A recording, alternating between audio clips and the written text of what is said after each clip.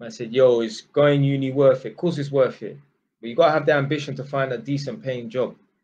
Don't just go to see that. I think this is the problem. Yeah, people go to uni, get the degree, and think, oh, I've reached the finish line now. So now there should be a job waiting for me. Let me tell you something. When I became a black belt in Taekwondo, yeah, my Taekwondo instructor, Master Tessa, said to me, when I got the black belt, this is the beginning. Yeah.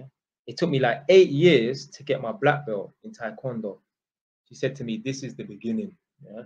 When you get your university masters or your first class bachelors and that, whatever, or second class, that's not the end, it's the beginning. And I think that's the problem.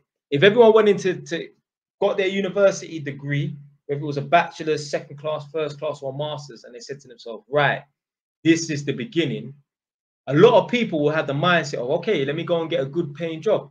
But if you get your bachelor's or your master, you think this is the end and that, well, there's nothing to progress to.